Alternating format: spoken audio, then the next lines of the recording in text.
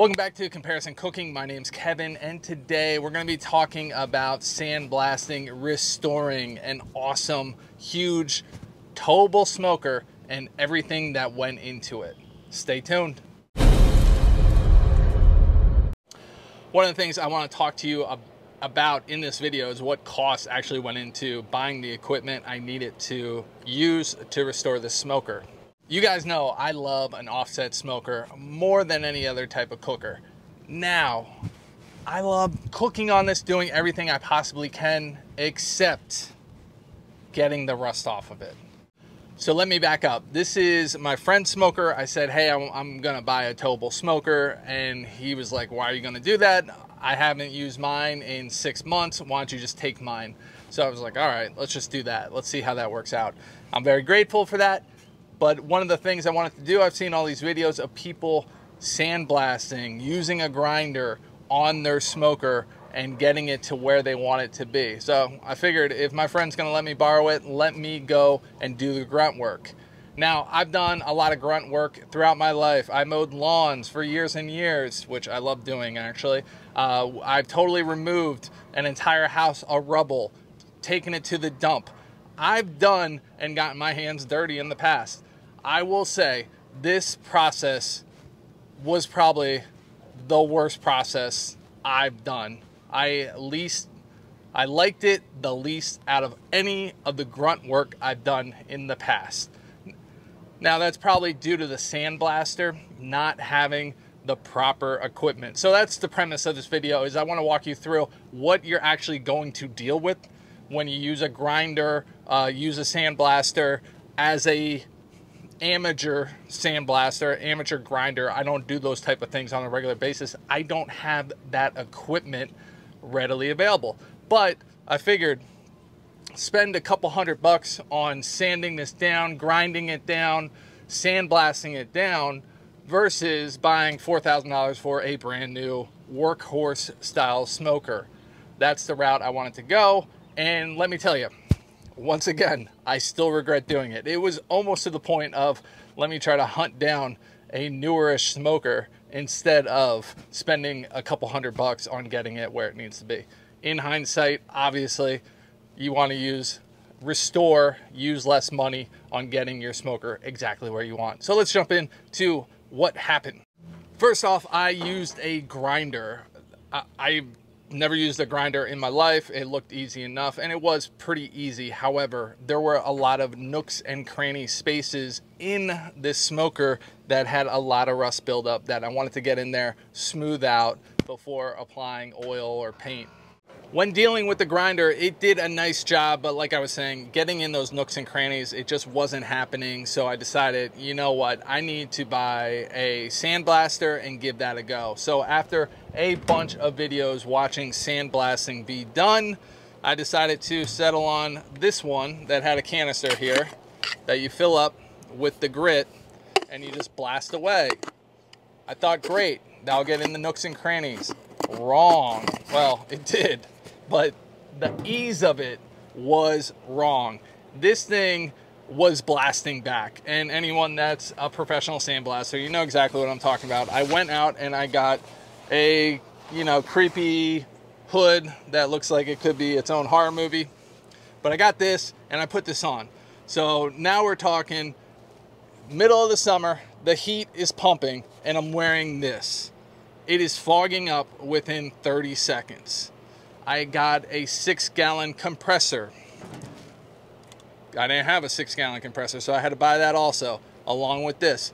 After about 45 seconds, if that long, probably closer to 20, I had to wait for the compressor to build back up to get the right amount of firepower blowing that sand on it. In that 20 seconds, this fogged up. So it was completely annoying you had long sleeves on, pants on, it's 90 degrees out, you're sweating, but you're getting bombarded with sand. This helped, but ultimately I took out the mask here, or the glass. I wore glasses and I wore a mask. So another reason I didn't like using a sandblaster was there's the hazardous aspect of it. It's not something I do on a regular basis uh, I wish, I wish it was a little easier, but having this gun, you're only extending your arm this far. And when you're hitting that, it's bouncing back and it's hitting back at you. So that's why you have to be fully covered up. You have to be masked up. It's probably better to do this in the fall or winter to keep yourself cool and not hyperventilating in these masks. Finally, I used a rust off. This was a gel that had very confusing directions on the bottle. It said to get water on the rust spots, okay, then spray it down with gel. I did that and it really didn't work. It was very frustrating. I was I was kind of pissed about it and it made no sense. There was no like, you know, keep it wet. Well, why am I keeping this thing wet? It's gel. It should be wet by itself. It didn't work. It didn't eat away at the rust like it advertised. I don't know if this was just too heavy, too thick of a rust and it was used to dealing with, you know, rust on a screw that's been sitting out in the sun. I don't know, but I didn't like it.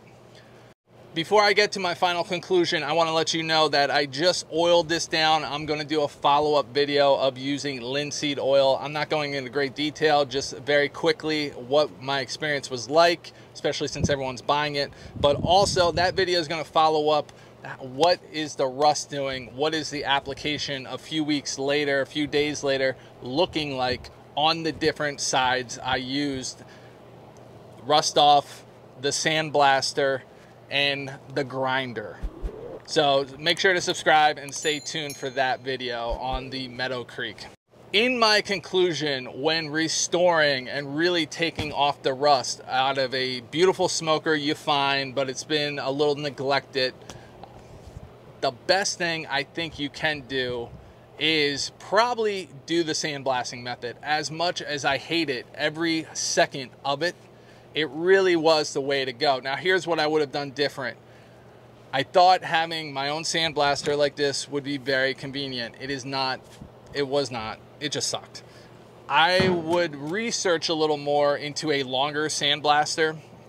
I wouldn't want you to spend more money on a sandblaster, a more expensive one, but I have seen a few that looks like it has a four to five foot pull uh, you know, that's probably a professional sandblaster, people that know what they're doing. But that's really what I would look for is trying to find a friend that might have this equipment or a rental place that will let you rent a sandblaster.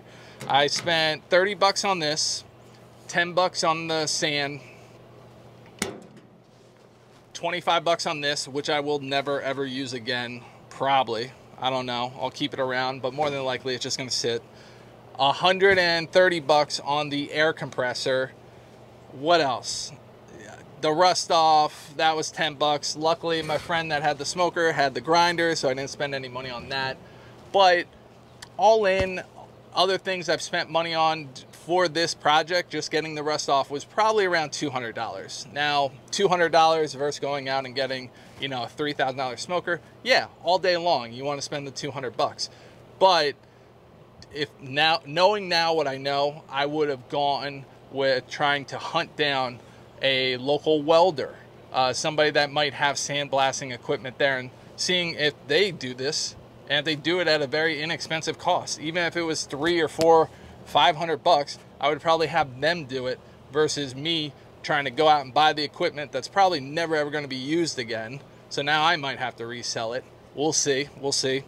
But I would try to find a friend that has this gear before you take on this project or a welder that will either let you rent their gear, which they probably won't, but you could pay them to restore it.